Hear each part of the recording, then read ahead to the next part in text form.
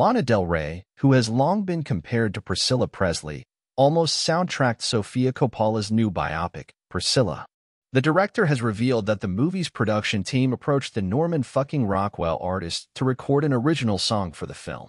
The intel came after Coppola was asked if Del Rey ever auditioned for the project, a move the singer-songwriter's fans have campaigned for. I'm learning that people really connect Lana Del Rey with Priscilla, and I didn't realize that, Coppola told E! News. But I got a lot of requests with, how is she going to be part of the movie?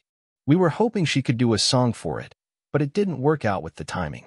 Coppola also noted that Del Rey has been invited to the film's premiere, but I don't think she can come, she said. But I'm excited for her to see it. Based on Priscilla Presley's 1985 memoir, Elvis and Me, the movie offers an intimate portrayal of the young Priscilla Beaulieu's Cailee Spaeny, courtship with rock icon Elvis Presley, Jacob Elordi. From their first meeting in 1959 to their eventual separation in the early 1970s. Porches, Alice Coltrane, The Ramones, and Sons of Raphael are among the soundtrack's featured artists. In EW's latest Around the Table, Coppola and her lead stars said they received invaluable insight from Priscilla Presley herself while making the film including memories of how she stopped to apply fake eyelashes while in labor with her daughter Lisa Marie and her late husband's love for a particular breakfast favorite. Priscilla told us that Elvis liked really burnt bacon, Coppola said.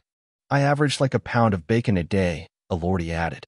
It's not that noticeable because I'm quite long, but I was the biggest I've ever been. Though the king of rock and roll has been portrayed countless times on screen, including in last year's Elvis biopic from Baz Luhrmann, Priscilla shines a light on some of the lesser-known and more controversial elements of his relationship with Priscilla. Such as their 10-year age gap, Priscilla met Elvis when she was 14 and he was 24. I was really surprised because I realized how little we know about her, Coppola said. They're such a mythic, famous couple, but when I read her story, I had no idea she was going to high school while she was living in Graceland. I was really impressed with how she really reveals what their life was like what her experience was growing up in such an over-the-top setting. I was surprised with how universal and relatable it was.